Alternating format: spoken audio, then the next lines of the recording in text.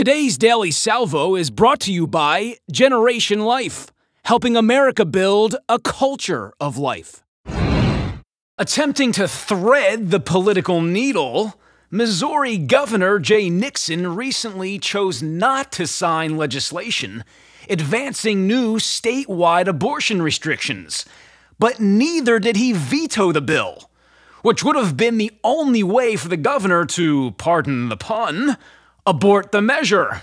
Which means Governor Nixon's decision, or lack thereof, will help to ensure that the Missouri state motto is relevant to more unborn children.